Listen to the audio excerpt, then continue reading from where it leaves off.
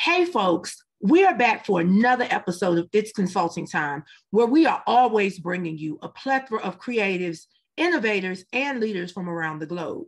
Purpose over popularity is our motto, and we pride ourselves on honoring legends as well as introducing aspiring and emerging independent creatives to the world.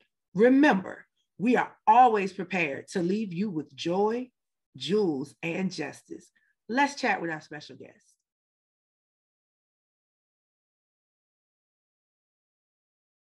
Hey guys, we're back, and today we are going to talk a little bit more about literacy, but we're going to talk about literacy in the aspect of being a best selling Christian author, Christian blogger, and a song lyricist. And so, guys, I want to present to you uh, Mr. Alan Black. Now, he grew up in the United Methodist Church and he proudly embraces his background, but he emphasizes the importance of the relationship and not the denomination that you are part of.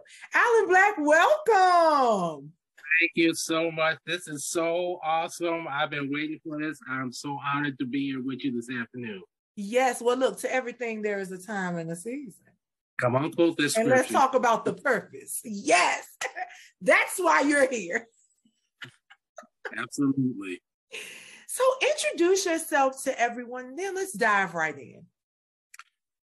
Wow, that's a really layered way to start the interview because I, I find myself at times I have to kind of step outside who I am to really share who I am, if that makes sense, because I was always taught to just kind of put your head down, just keep moving forward. You just don't look to the left, you don't look to the right, you just do what you're called to do. So, but I am Alan T. Black and I am in Omaha, Nebraska.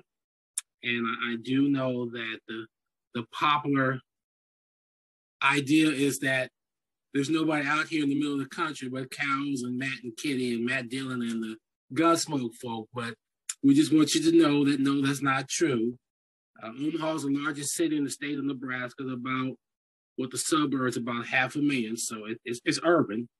And so when you go out west, leaving Omaha, headed towards the Colorado Boulevard, I mean border, then yes, that's when you start getting into the the rural area. But I'm definitely urban.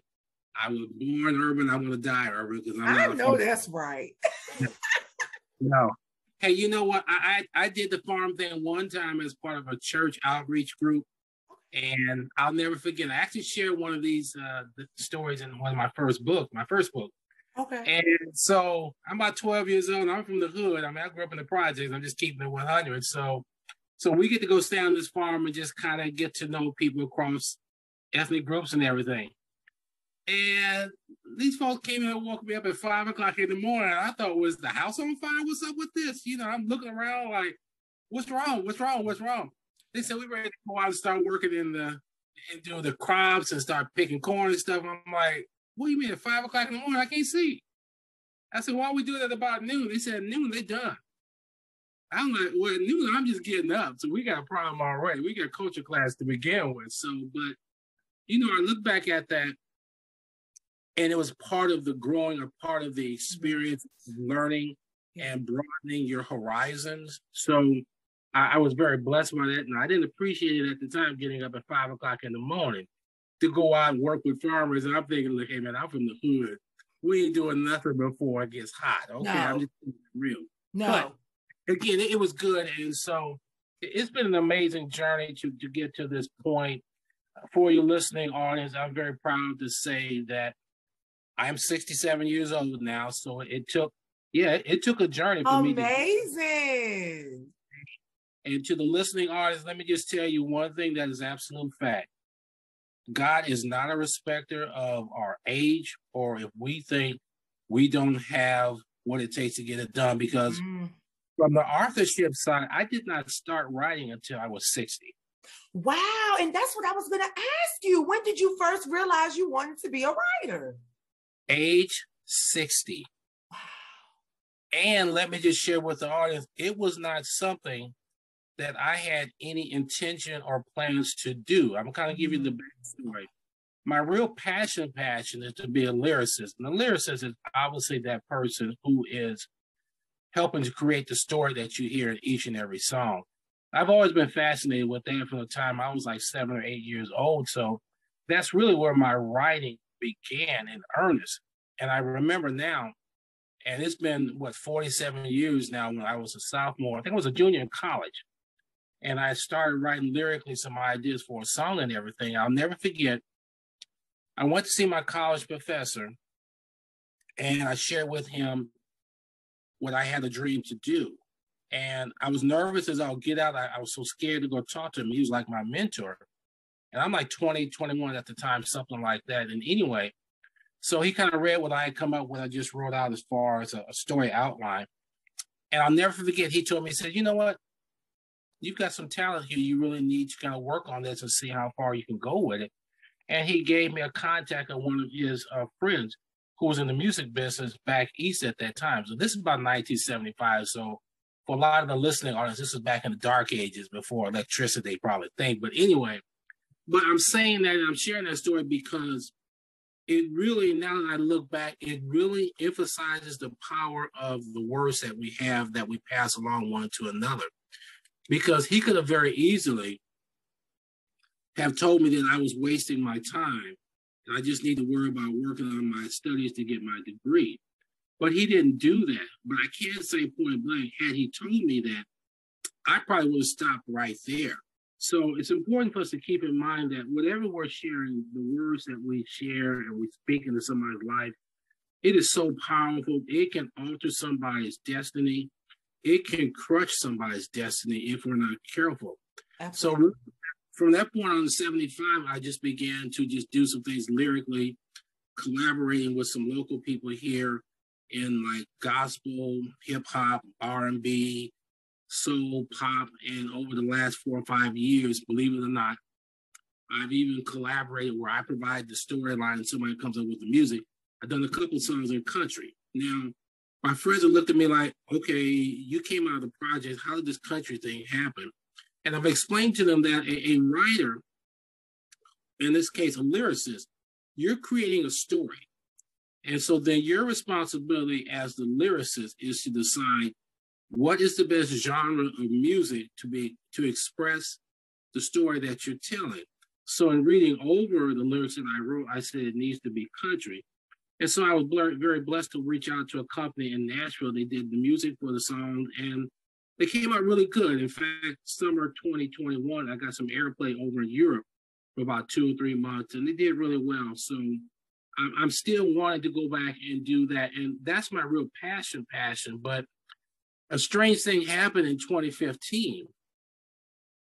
I had already retired from my job at the university. I was in uh, education, teacher education. So I'm working part time, just doing hotel reservations, just to kind of keep my mind active and everything. And so I would work in the morning from like six to about 10 or so, just part time. And really, honestly, because I'm on Central Standard Time, between six in the morning and eight in the morning, there wasn't really much going on. It was just kind of slow and I didn't have anything to do. But I just kind of started just kind of freestyling, if you would call it that, just writing out different thoughts and everything that kind of came to me. And God started directing me in that path or on that path to just kind of start creating what I would call inspirational stories. And, and I'll never forget, I remember I had written the first two or three for my first book, Here I Am Lord. And I remember I got up from my desk, I went and got some water. I came back and I couldn't remember what I'd written. It, it, it's it scared me because I would sit there and I would read it and I couldn't I couldn't remember writing it. And so after the third time, I, I reached out to a friend of mine who's a pastor, and I said, "Well, bro, I kind of need to know what's going on here because I'm writing these short stories. They're Christian based, they're inspirational, but I don't remember doing it. And it scared me simply because my background, as far as being in education and working in teacher education, is very organized, very logical, that kind of setting. So for me to start doing this was completely out of the loop. I was in a whole different arena. And so I was talking to my friend, the pastor, and I said, Well, am I losing it? Am I am I losing my mind? Well, what's going on? I'm kind of scared. And he asked me, he said, Well, are you willing to be open to what God's calling you to do? I said, Well, yes.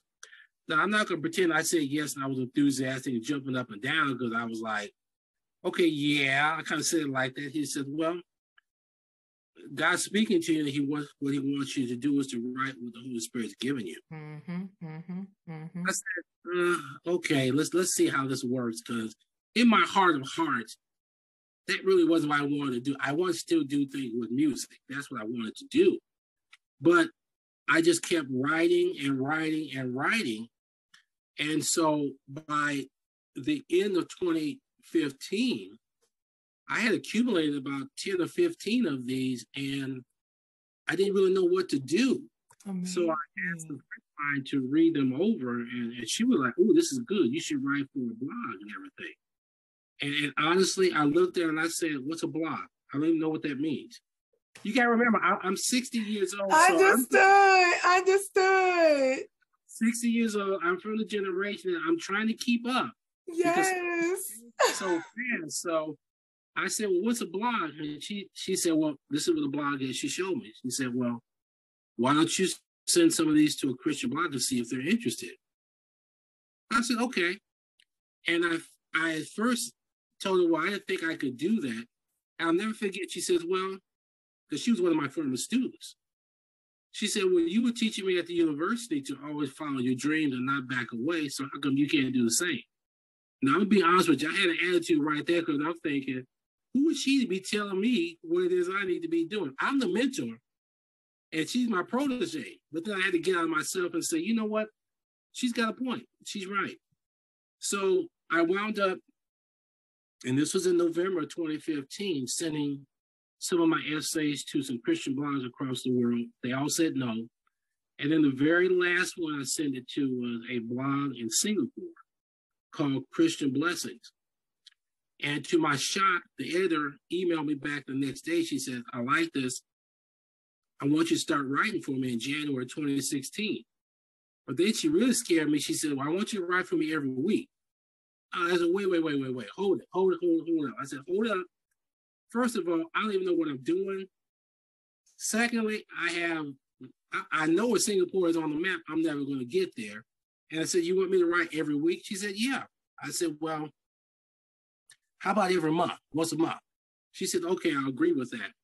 And I'll never forget, she told me for January 2016, she said, I need you to come up with a topic that is tied to the beginning of a new year. She said it had to be at least 300 words.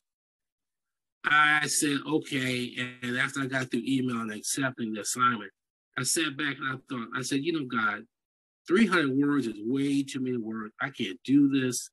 It's impossible. And then she wants me to come up with a topic brand new to start the beginning of a new year. I said, man, you have got me in the corner here and I'm just done. I, I can't do this. And so I kept trying to figure out what to do, what to do, what to do. And I'll never forget, two days after Christmas 2015, December 27th, I'll never forget, I'm driving home and I hear this song on the radio, Auld Lang Syne. And we've all heard that. And part of the lyrics, again, here's the lyrical connection. Part of the lyrics say, Will old acquaintances be forgotten? And it hit me. And so my first writing for Christian Blessing in January 2016 was Old Acquaintances. That's from my first book. It's from my first book, Here I Am Lord. And the synopsis of that particular essay is each year we start out mm-hmm. and we talk about what I want to change, what I want to do different. Absolutely, absolutely. What are the old acquaintances that you want to get rid of? In my case, it had to be fear, it had to be lack of faith. So that was my old acquaintance that I had to get rid of. So, and I'm not going to sit here and tell you I'm a brilliant writer and all that because I'm not. Uh, everything that I've ever written point blank has come through the Holy Spirit by just being obedient. Absolutely. And, and I think it's important, guys, if you're just tuning in, I think it's important for us to really, you know, just put it out there. A lot of there's a difference between a talent and a gift. Thank and you. we're gifted with things that often we don't even know that we have until one day we just do it. And it, and, and it's just, it's like, oh man, I just did that. Thank you. You didn't have to practice, it just happened. And so, you know, Alan, you are utterly amazing, you know, relative to your writing and and even the, the lyricism. And I love the way you defined being a lyricist. Now, now, what to you are the most important elements of good writing from your perspective? I think from my perspective, because I'm just doing it and I don't really, if it sounds weird, I don't think a lot about what I'm doing. Mm-hmm. I think as much as anything, if this sounds very simple, I think you just write for what's on your heart, what you're being led to do. And I think a lot of times we overcomplicate the whole process.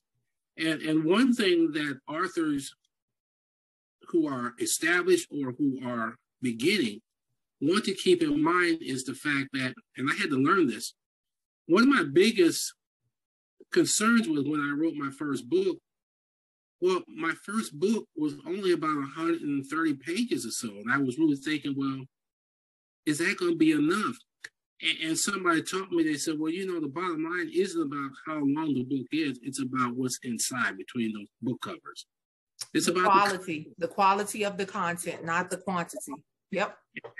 I even had another former student, she's an author as well, but she's written two children's books geared toward uh, black young ladies, young girls about eight, nine, somewhere in there. And I purchased both of her books because I still support my students, even though I haven't I left the university 10 years ago. But both of her books are actually like 20, 22 pages, something like that, but they're beautifully written. So when I'm speaking with people about being an author, I just try to keep it simple. I tell them just write what's what's on your heart to write and everything. And I've also explained to them because of technology, here we are in 2022. Because I've had people say, Well, I don't have the time to sit down and write and everything. I said, Well, you're overthinking it because all you've got to do is hit the record button on your phone and just record a little bit each day. Because when you get through, you can get somebody to transcribe it and everything. So just don't overthink it. And so they, they looked at me, and they said, Well, that that seems real simple. I said, Well, that's it. Just just do it. And in this era too, you have so many options to self-publish. Because when, when I finished up oh, with my oh, first book, I in the process of writing my first book, I actually talked to a gentleman who went the traditional route and went through a publisher and everything. And and I mean to tell you, it, my conversation with him was 20 minutes of absolute negativity. It was negative. It was doomsday. It was like, you're going to waste your time and all that. And I can believe it. I can believe it.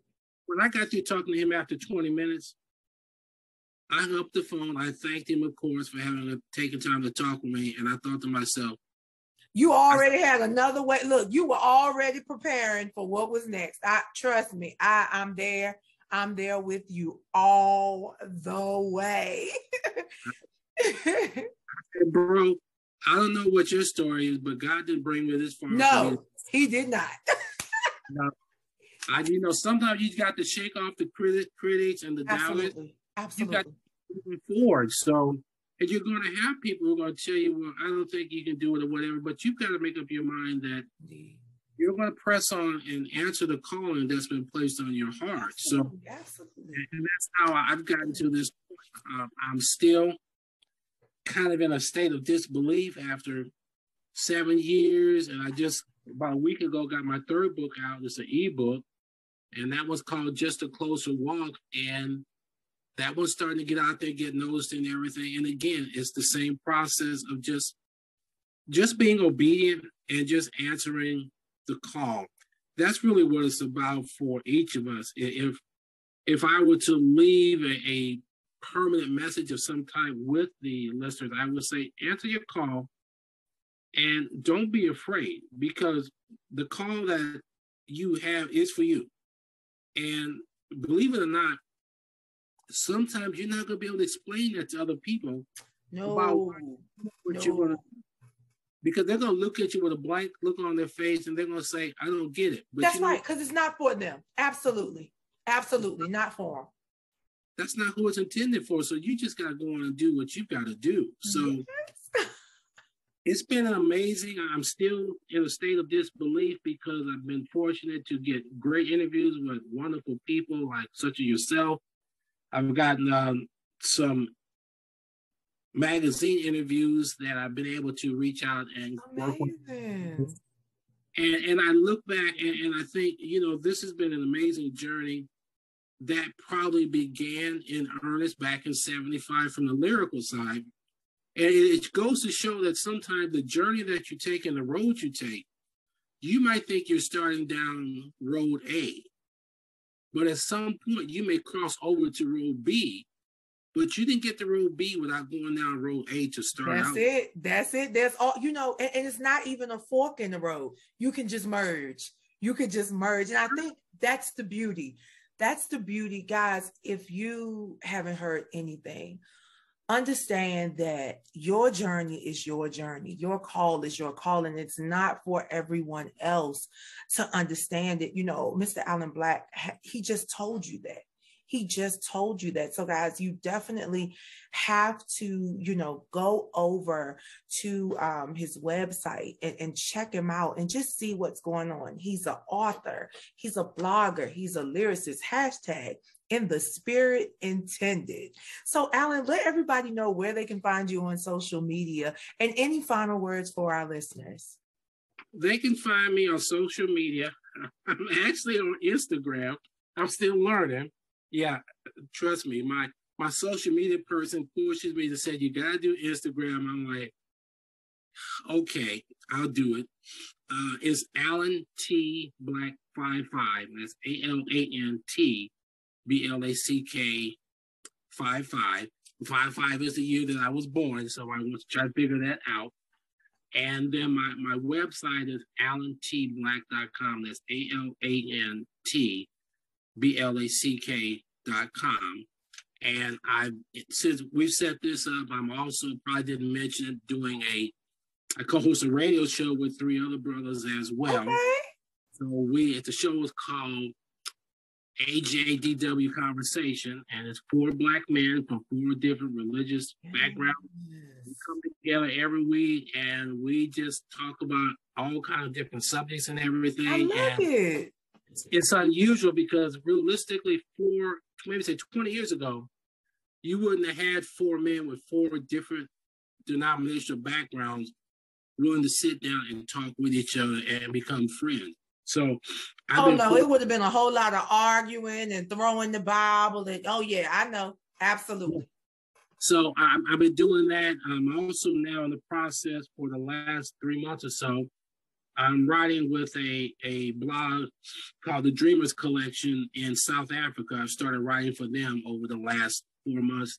And you know, it, uh, if I release something with the audience, I, I'm going to share a story that my father kind of taught me, and it's a story about Peter walking on the water.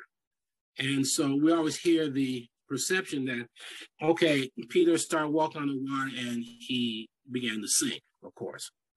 And so, but my father flipped it. He said, well, you know,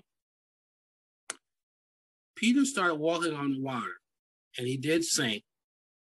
But what were the other disciples doing? They were just sitting in the boat.